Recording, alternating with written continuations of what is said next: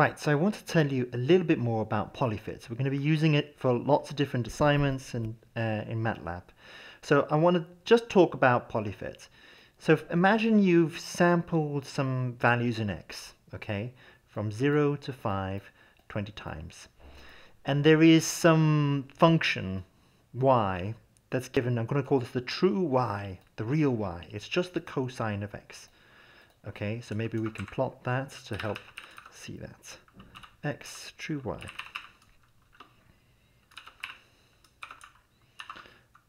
Um, we'll plot it after this next bit. So here, I'll put it here. But you can't, when you measure something in any experiment, in any piece of engineering, you can never measure what's really there. You're, there's always an error. So I've added an error by adding a random set of numbers, and this creates a random set of numbers that's one col column, that's one column with the same length of x. And this is going to generate numbers between 0 and 1, so I've subtracted 0.5 to be numbers between minus 0.5 and 0.5 plus the true value. So let's compare the true value with the measured value. So this is why we're going this is where we typically use polyfit, okay? So I'm just going to I'm just going to comment out my next lines here, not to confuse us with these plots here. We're going to get to them. That's still true in data, yes. Measured. Run.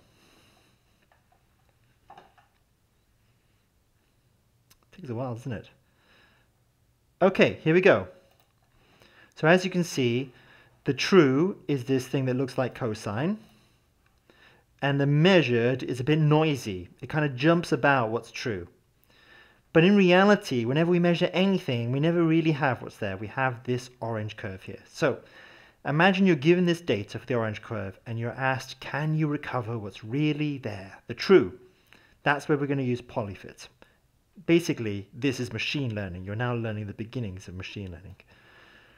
So what we're going to do is we've got to decide, we're going to fit the data the measured data, we're going to give it all the x values and the y's. We're asking it to fit a polynomial. It means we're telling it, we're assuming that y equals some constant 1 times x to the power of 4, that's the first one we get there, plus another constant times x to the power of 3, plus another one, times x to the power of 2, and it keeps going, okay? And the first one that appears here, that's what you're putting here. So what do we choose? Is 4 good? Don't know. Maybe, maybe we should choose 100. Maybe we should choose 1. Why don't we choose, start with 1. Let's see how good that is. So you fit a polynomial that just has, if you just choose 1, then it's going to be just this here, isn't it? It's just going to be p1 times x plus p2. That's it a straight line. You're asking it to fit a straight line. It's only got two numbers that it's going to try to guess what they are. So now what we're going to do is we're going to plot that. So this is, gives us the coefficients. We're going to get a new range for x because you, when you have when you've discovered what is p1 and p2, you can now specify your own x if you want to sample more times. And that's what we're going to do. We're going to sample more finely, 200 times, because before we just had 20. And now polyval, what that does is it evaluates what is this polynomial for a given x, so that you don't have to write it out by hand like we did in the previous tasks. So that's it. We've got x2 and y2 from the polynomial. So we could actually call this poly y. So this is the y predicted by the polynomial, okay? So now let's plot. We're going to plot the true value. We're going to plot the data measured and now we're going to plot what polynomial estimates. I'm going to call this the last one polyfit. Okay, let's get an X label and um, we don't need a title at the moment. So run script.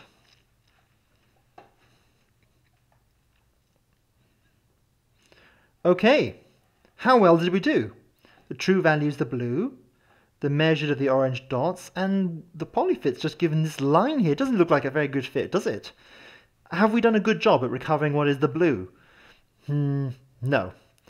I don't think the data was a straight line. So in this case, it's said that we've created too much a bias. We, we've kind of enforced what we think is the, the true value, a straight line, and it wasn't. But we can make things better. We can increase the value of the polynomial. What if we choose 4? So 4 has a this term, has a cubic, has a quadratic. So a lot more flexibility, a lot more constants to choose. Maybe 4 is the magic number. Now all we have to do is run this again because this function here will just adapt to the number of coefficients perfectly. So we'll just run it again and have a look.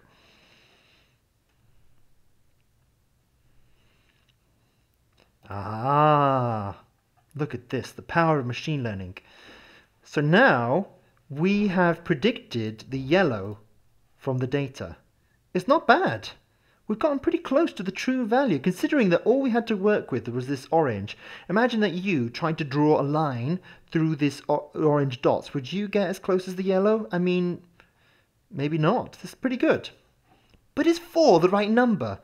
Is it a polynomial with only 4 terms? Maybe there should be 14. So how do we know when to stop? Imagine you didn't know what the true value was. So this is what we're going to try and teach you in this little mini class.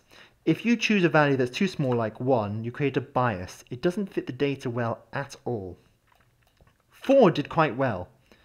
But if we go too high, we're going to get another error called overfitting. Let's try it out.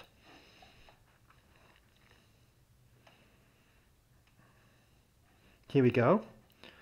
Using P of 14, how well did we do at recovering the blue line? Not so well. Look at the massive errors we've induced in some areas. As the polynomial, as the function, the yellow function, has more flexibility, it tries to go through every single orange point. And sometimes to do that, like to go through these first three, it had to dip down extremely low before going back up again. And that created a huge error. And this error would actually get worse as we increase the polynomial let's go, I don't, actually we can't go to 24 because there's only 20 terms. Let's go to 19. I think it'll give a bit of an error because you're not usually allowed to go to, yes, it gives us a warning, but it does try. Look at that error. An error of over, I how, it was 1 and now it's gone to 200. What percent is that of the error? A lot. a lot. 2000% error. So huge, humongous error. You've done terribly just because you've asked it to use to try to fit better the points. I'm going to lower the uh, order so that we can see this better because this is very difficult to see. Here we go. The more we increase the order of the polynomial, the better it goes through all the, the orange points. But that doesn't mean it's recovered the, the original function better. That's called overfitting. So um, in machine learning or data science, what you would learn is that there's an optimum. There's a degree at which you can um, you do quite well at going through the data, but if you were to try to predict some new data, you would do well at that too. So one way to do that is to remove some of these points and keep them and don't fit a polynomial to them. So how would we do that? um, we'd have to take what's called training set. So training set here. So we only use a part of the data to fit a polynomial. So if you go and revise sampling arrays, this is going to take, what I've written here is going to take the first term from measured data, then it's going to sum 2 and take the third term. So just to write in the comment, this is like I've done equal measured.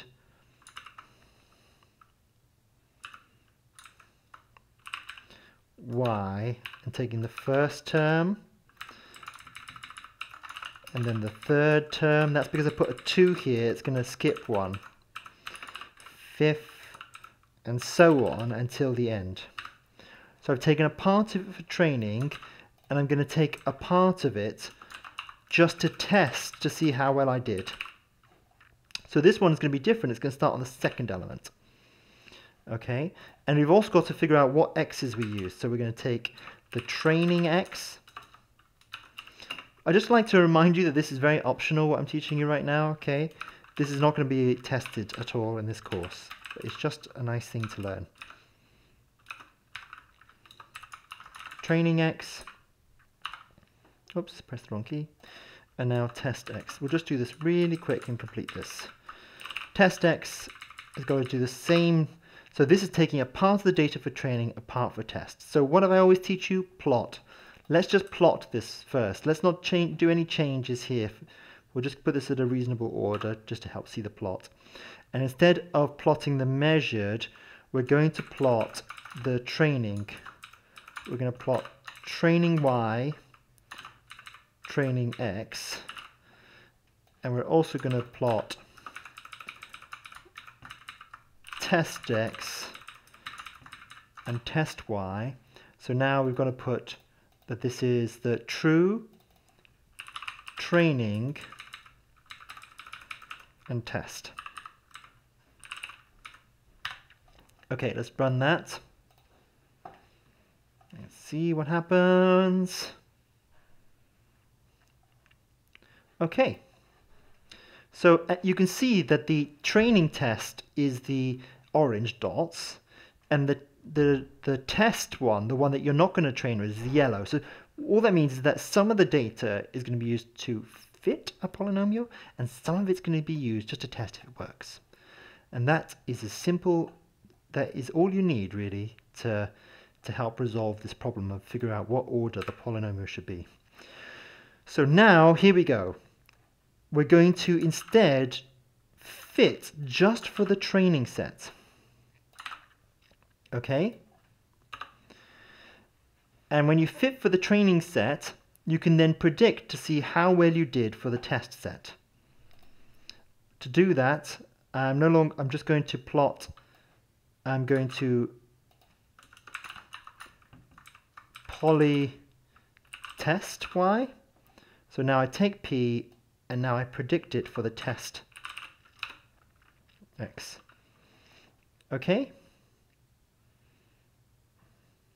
Or better yet, let's just leave it as it was and predict the whole thing, and we'll just see how well it does from the picture. Okay, run script.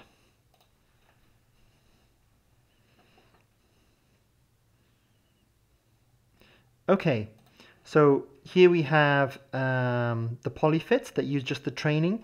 Now, you could write this in code or you can just look at the picture. You can now compare how well it did, how close it got to the test points. It, it doesn't know the test points exist. It didn't use those test points to fit the polynomial. So you could have a look, you could write, it, write this in qu a quantitative check, or you could just look to see how well it did compare against these yellow dots. And then if you chose a polynomial that was too high in order, like 10 will be, you'll see that it does very badly at predicting the yellow test dots. And that is a way see it would do terribly. That's too bad, actually. Let's get something that's not so bad so that we can actually look at the results. 9, I think, should do it. Let's see. 9 might still be terrible, actually. Don't be so terrible. That's still terrible. But if you compare how well it does on average the yellow dots, it does terribly. So you could write that into the code to automate and figure out to stop increasing the polynomial order when it does really badly at predicting the test yellow. Okay, that's all we had to say. Remember, we're not going to be tested. You're not going to be tested on this. This is just an extra. Okay.